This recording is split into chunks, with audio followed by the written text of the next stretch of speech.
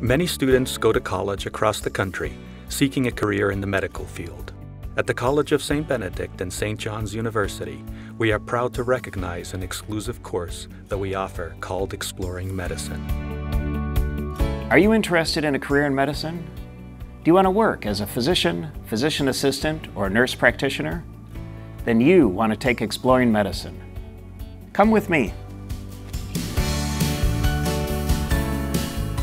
Exploring medicine is a unique experience that allows health profession students to directly bridge their academic background to a structured clinical setting and to begin to experience the intellectual world as seen through the eyes of a physician.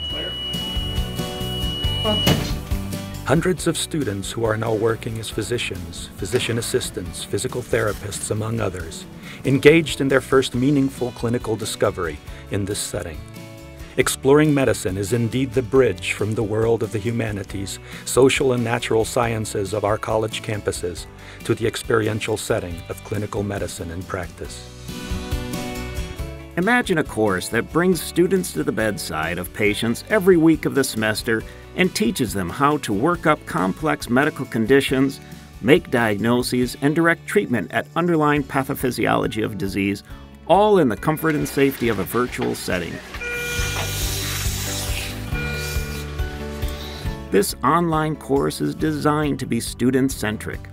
An online text provides all the information you need to prepare for live class sessions where you and your classmates will determine the best treatment of true to life scenarios of medical emergencies.